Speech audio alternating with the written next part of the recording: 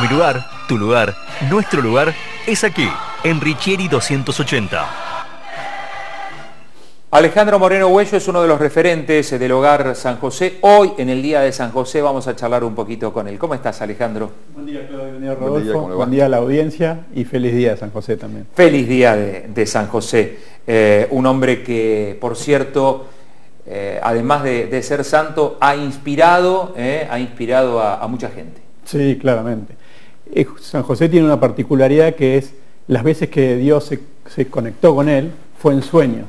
Este, y eso me hace acordar en el 2014 cuando vinimos acá este, y a hablar, a contar que estábamos comenzando eh, a trabajar desde Santo Domingo Tandil en el hogar, te pregunté, ¿y vos cómo lo ves? Porque en aquel momento era una situación muy Era un desafío grande. Sí, era, había mucho, mucho conflicto, la verdad que... Y vos me dijiste, lo van a hacer. Y bueno, yo creo que hoy, si tengo que decir algo, podría decir que fuimos fieles, pudimos ser fieles a los valores de Santo Domingo, a los 130 años de la historia del hogar San José y a lo que la sociedad esperaba de nosotros y con eso te diría que me puedo ir a mi casa un poquito más tranquilo. Qué misión, ¿eh? porque digo, la comunidad de Santo Domingo no tenía por qué decir que sí cuando, cuando digamos, se, le ofreció, se les ofreció este desafío.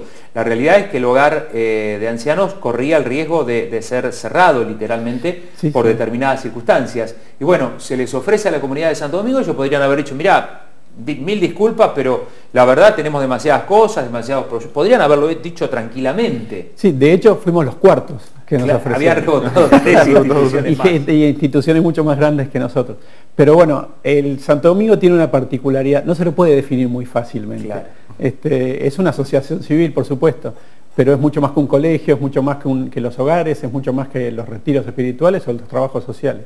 Es una gran comunidad que tiene una imagen que muchas veces no coincide con lo que nosotros tenemos adentro de las que vivimos. Eh, yo te puedo decir mi experiencia personal, este, eh, cuando vine a Tandil en el 99, llevé a mi, a mi hija que tenía un año a otro colegio diciendo que en el Santo Domingo no iba a ir porque era elitista, este, y cuando entré al Santo Domingo me dio vuelta la cabeza. O sea, me di cuenta que... ¿Por qué eso? ¿Qué, te dio vuelta la cabeza? Para mí, por los valores. O sea, más allá, los valores sí espirituales, más allá de lo religioso, que es un valor en sí mismo para mí, para mi familia, este, los valores que mueven a ser... yo decía, en el hogar, por, poner un ejemplo, más allá de lo económico, más allá de que pudimos consolidarlo, de que el AFIP no lo remató como estaba en su momento, y, más allá de que somos una asociación sin fines de lucro y que no busca este, ganar plata por esto, este, nos mueven o por, de pronto lo que yo aprendí de Roberto y Virginia, que fueron, Roberto Esteves y Virginia Mañasco, fueron los fundadores, no los mueve la plata, los mueve los valores. Y eso es difícil de encontrar. Y es difícil de transmitir. Entonces puede parecer una cosa, pero después es otra. ¿Qué es lo que me pasó a mí? Yo entré y los invito a que entren y que vayan. Ahora no pueden entrar al hogar, pero el hogar es de puertas abiertas y, y desgraciadamente por esta situación de miércoles que estamos viviendo, no lo podemos este, plasmar. Pero si fueran al hogar y, vieran que, es, que el equipo interdisciplinario, que extraño mucho que no pudiéramos estar todos, este, iba a venir Vanessa, la trabajadora social, Juana, la coordinadora de enfermería, está Carla, Agustina, Anaí, bueno, somos 35, que son los que somos convivientes. Yo digo, capaz es, ese es el resumen del por qué eh, puedo decir que nos, que nos fue bien en esa fidelidad a los valores. Que en el hogar somos convivientes. Yo varias veces durante el año pasado, no es una crítica, pero cada uno hace lo que quiere, pero varias veces las instituciones de geriátricas o de estadía, de larga estadía en Tandil, eh, se presentaban como intermediarios entre la familia y el, y el residente. Y yo no soy intermediario, yo soy conviviente. Yo vivo todos los días, yo sé quién es Margarita, sé quién es Alberto, sé quién es Lili, sé quién es, yo sé quién es, sé su vida y ellos saben la mía. Y, en ese ámbito nos movemos, sabiendo que ese tiempo, último tiempo, cuando llegan al hogar, es un tiempo en que, encima que la vejez está mal vista, nosotros creemos que es un tiempo divino, lindísimo, porque hay gente que no ha llegado a la vejez y no tuvo la posibilidad. Hay gente que ha fallecido mucho antes. Y ellos llegaron. Y llegaron con sus características y con las características propias de la vejez. y tienen que vivir y los invitamos a ser felices, a tener un sentido de vida en ese tiempo, no sé cuánto es. Capaz que con Víctor fue una semana, que entró la semana pasada, la otra y murió el sábado. Y fue un tiempito, pero es el tiempito que queremos que puedan armonizar su vida, que estén en paz, que puedan pasar a la otra vida distinto. Y eso les puedo asegurar que pasa. Y como pasa, puedo decir, hoy puedo venir a decir que fuimos fieles, que somos fieles a lo que nos planteamos allá en el, en el 14 nosotros y en 1883 la Sociedad de la Caridad. Así que imagínense, y desde 1823 la Sociedad de Tandil, porque el hogar es, es Tandil.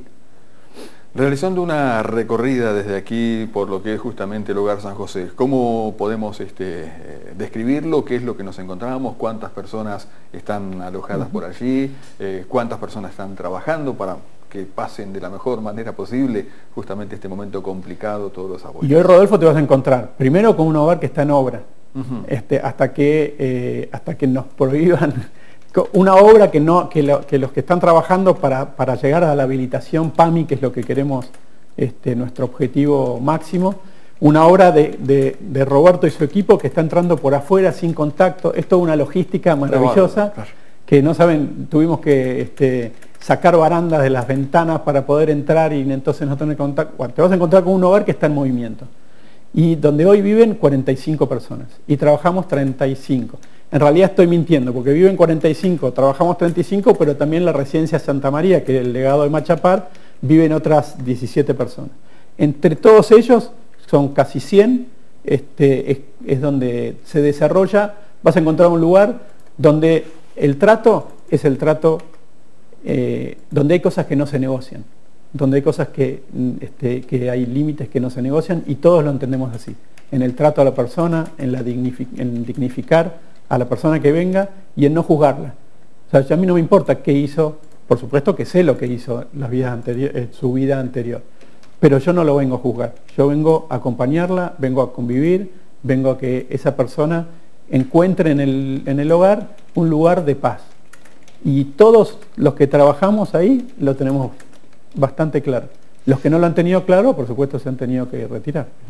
Eso que vos planteabas, ¿no? Eh, no se negocia eh, el buen trato, el, cariño, ¿no? Eh, y creo que eso ha hecho la diferencia eh, de lo que está pasando ahí en el hogar San José de un tiempo a esta parte. Digo, por, he charlado con familiares de gente que está ahí y es como una marca.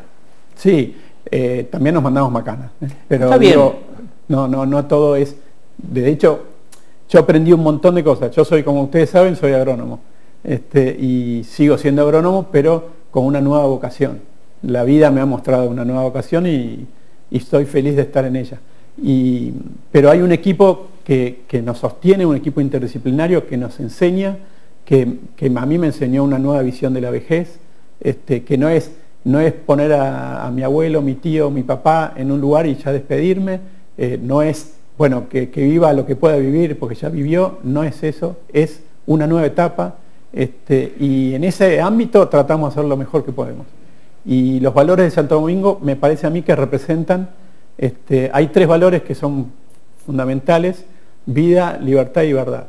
Y dentro de esos tres valores, más los que creemos que pudimos construir en el hogar, como la empatía, como la dignidad, como la solidaridad, bueno, creo que hay una mezcla ahí, como una ensalada rica que se, se va armando y ojalá se mantenga independientemente de las personas. Mientras hablaba Alejandro Moreno Huello, mensajes que vienen llegando, alguien que dice, me emociona escuchar a este señor, qué mirada esperanzadora. Bueno, es la sociedad de Tandil, yo creo que, eh, y en eso me saco el sombrero, nunca nos han dejado, mirá que han, salido artículos diciendo que yo me había quedado con todo, que, las tierras, que ah, la, la manzana, uh, tremendo, este, y nunca la sociedad nos ha dejado en banda. O sea, siempre es bueno, no voy a hacer nombre porque voy a quedar mal, pero sepan que es un montón de gente de todos lados, empresas, vecinos y amigos que están pendientes. Tenemos cancha de, bochas nuevas, tenemos una sala de cuidados especiales que se llama San Martín de Porres, que es este, un lugar especial, es el lugar especial del hogar. Tenemos un comedor que, que lo tenemos nuevo por una fundación que nos dio la plata para hacerlo. Tenemos rampas, bueno, hemos ido avanzando este, con la ayuda básicamente de todo. Yo dejo dos preguntas para mm, el próximo bloque. Eh, parte lo respondiste recién, eh, pero quisiera profundizar en eso. Eh, la pregunta es cómo se sostiene el Hogar San José. ¿Cómo se sostiene? Y vos ya contaste que hay empresas y personas que ayudan. Si hay más personas y más empresas que quieren ayudar, ¿cómo canalizar esa ayuda? Y la otra pregunta, ¿cómo venimos en el hogar con el tema vacunas? ¿Eh? ¿Cómo venimos con el tema vacunas? esencial para los abuelos y para sus cuidadores. Pero esto será, si te parece Alejandro, para el próximo bloque. ¿Cómo no? Bien. Alejandro Moreno Huello está charlando con nosotros. Antes de irnos a la pausa, vamos a hablar de Mundo Licencias, porque en Mundo Licencias vas a encontrar eh, todo para que tus chicos vayan a la escuela con más alegría, con más diversión, porque eh, Mundo Licencias tiene todo, absolutamente todo, lo relacionado con las películas y las series que los chicos miran. Así que no te pierdas esa sonrisa de los chicos cuando le haces un regalo de mundo licencias, Disney, Marvel, eh, Cartoon, bueno, en fin, los diseños de series y películas que los chicos aman, buzos, remeras, gorras, vestidos, medias, peluches, eh, loncheras, vasos, perfumería y mucho más. Agenda este celular, así podés hacer todas las preguntas. 2494-010-777, 2494-010-777. Date una vuelta por Sarmiento 301, Sarmiento esquina 14 de julio. Horario de atención de lunes a sábado de 10 a 13 y de 16.30 a 20.30. Búscalos en Facebook e Instagram como Mundo Licencias Tandil. Muy bien, y antes de ir a la pausa, por acá algún mensaje manda Mariela, dice, gran amiga y persona, mis saludos para todo el equipo del Hogar San José, en especial para Vanessa Bruno. Seguimos, Chávez, es el mensaje que llega por acá. Y bueno, evidentemente estamos hablando de un edificio centenario, eh, hay mucha inversión ahí para poder mejorarlo, ¿no? Permanentemente. Sí, y están hablando familiares, me parece. ¿no? Exactamente. No puede ser. Que es un gran valor ese, ¿no? no, es un, es un edificio de 130 años. Este, quizás no muchos lo conozcan, que fue el primer hospital de Tandil, antes del Ramón Santa Marina. Lo que pasa es que después vino Ramón Santa Marina e hizo el hospital y mutó. Pero el hospital original es lo que hoy se conoce como FASTA, o el, mejor dicho, más que falta, el Colegio Santa Catalina. Este, ese era el hospital original. Y después se construyó el hogar en 1923, al lado, y después mutó el, el hospital y pasó a hogar de niñas. Así, que, evidentemente hay un trabajo muy importante también para ir actualizando toda esa estructura y tenerlo justamente de una forma moderna y segura. Estefanía, Marcelo y especialmente Sebastián, que son los que tienen que estar todos los días con eso, tienen pocas horas de sueño, porque levantás la chapa y te encontrás con 50.000 cosas más que no te habías eh, imaginado. ¿Cómo se sostiene hoy el hogar San José? Claudio, especialmente hoy la residencia Santa María, de la ganancia de la residencia se vuelca al hogar. Después de eso... Perdón, la residencia de Santa María es... el, legado de Machapat. El, el que, está en el, Claro. El objeto de ella, además de este, brindar un servicio de excelencia, y quiero aclarar, de excelencia tanto como en el hogar. La diferencia entre uno y otro es básicamente edilicia, porque el equipo es lo mismo, los menúes son los mismos, el médico es lo mismo. Pero bueno, la ganancia de eso se vuelca al hogar, por supuesto no alcanza. Dentro del hogar, yo digo, la justicia social no es igualdad, es equidad. Entonces la persona que puede pagar, paga. La que no puede pagar, no paga. Porque si la que puede pagar no paga, deja fuera al que no puede pagar. Entonces hacemos Vanessa Bruno, que recién estaba este, felicitada, este, Juana de la Canal, Carla Calegari, Anaía Echeverría, Agustina Bortolotti, el equipo interdisciplinario analiza la situación. Entonces, si puede pagar, paga. El resto, tenemos convenio con el municipio hoy, por los que el municipio nos, nos trae o nos pide que alojemos. Y además estamos buscando convenio con PAMI, por eso la habilitación. Cuando termina todo eso y falta, el Santo Domingo pone. Y eso así, ese es el compromiso que hemos asumido. Este, vuelvo a repetir, no hay negocio inmobiliario, no se asusten, nadie está haciendo, nadie está vendiendo nada ni, ni nada parecido. Simplemente es una cuestión de valores, una cuestión de que es un lugar que es, es Tandil, para mí el hogar es la cara de Tandil en muchas cosas, como también una biblioteca pública, como también algunas instituciones que para mí son el reflejo de lo que somos como sociedad. Así eh, que así se financia. Lo mencionamos como Hogar San José, hay algunos que todavía quedan medio tildados porque son de otra época, el tradicional hogar de ancianos, ¿no? Claro, De hecho, arriba en la puerta dice hogar de ancianos. Al lado de la parroquia del Sagrado Corazón. Que voy a hacer una salvedad, no es hogar de abuelos, porque las chicas deben estar escuchando y este abuelo es el que tiene nietos, anciano es el que, tiene una, que es viejo. Entonces, o es anciano o es viejo, pero abuelo es el que tiene nietos. Este, puede o no ser una condición. Claro, exactamente. Puede no ser una condición. Eh, contanos un poco, eh, otro de los temas que habían quedado del tema vacunación. Eh, ¿Pudieron vacunar a, todos los abuelos? Acá hay algo importante, perdón, a todos los ancianos. ¿Pudieron vacunarlos a todos y al personal? Porque digo, es tan esencial que esté vacunado el anciano como el, el mm. personal.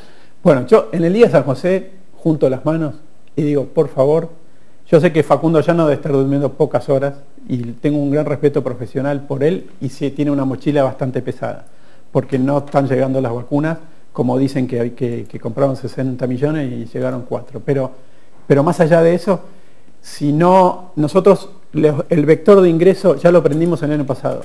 El hombre es el único animal, digo, que hace lo mismo esperando resultados distintos. Nosotros ya lo vivimos el año pasado, lo vivimos y lo vivimos muy mal, lo vivimos muy duro, fue una experiencia que no queremos volver a vivir. Aprendimos que los vectores de ingresos del virus son los que trabajamos en el hogar, porque entramos y salimos. Al menos de esos 35 hay 12 que ya nos vacunamos por, este, por la página de la provincia. Terminemos de vacunar los que ingresan a los hogares todos los días. Ya sé que el que se enferma es el viejo o el anciano, ya lo sé, y ojalá lleguemos pero si estratégicamente pudiéramos pensar, debiéramos empezar a vacunar a los que trabajamos y que por alguna razón u otra la página de la provincia de Buenos Aires todavía no ha dado el turno. La tercera parte es muy poco. Claro, y sí. Y no sé cómo será el resto. Por eso digo, eh, no, eh, yo me ofrezco a Facundo eh, ayudar en lo que podamos, no es un reclamo y mucho menos político, saben en, mi actividad política, pero no es, en, este, la persona inteligente debiera separar y aprender a separarlo. Pero este, creo que es fundamental, antes que venga, ayer el, este, el intendente Lungui habló de una segunda ola en el mes de abril. Bueno, nos quedan unos días, quizás sea abril en Capital, como nos pasó el año pasado, arrancó en Capital y después llegó un poquito más tarde, pero quizás el pensar en los que entran y salen de, las instituciones de larga estadía, que son en definitiva los que están llevando este, la posibilidad del virus. También sé que los que estamos vacunados no quiere decir que no vayamos a contagiar, pero esto es una cuestión de concentración, es un virus.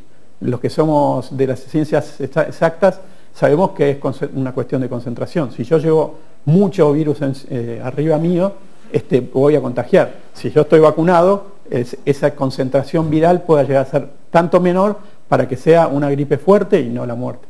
Tal cual. Alejandro, vamos a seguir charlando. Mirá, saludos acá de Raúl Escudero. Dice felicitaciones Alejandro por, por su trabajo y siguen llegando mensajes, cosa que agradecemos. Bueno, algunos los llegamos a leer, otros no. Eh, pero vamos a seguir hablando con gente del Hogar San José próximamente. Saludos para el señor Moreno Huello de parte de José Luis Belio que tiene a su amigo Juan Carlos Monzón allí. Eh, hincha boca, Juan Carlos.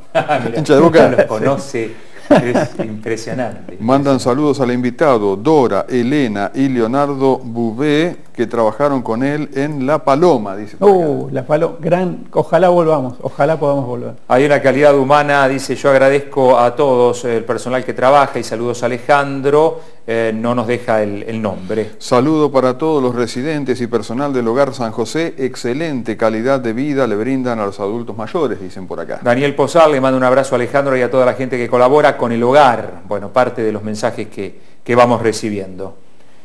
Eh, gracias a todos los que, los que escriben. ¿eh? Bueno, Alejandro, gracias y reitero, vamos a seguir charlando, vamos a seguir charlando próximamente con más gente del hogar. Bueno, muchas gracias por la invitación y feliz día de San José. Hoy tenemos festejo en el hogar. ¿Hay festejo en el hogar? Choriciada. Ah, muy bien. Espectacular.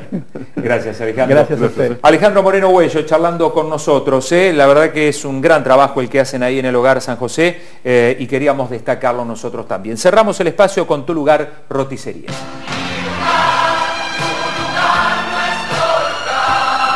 Mi lugar, tu lugar, nuestro lugar es aquí, en Richieri.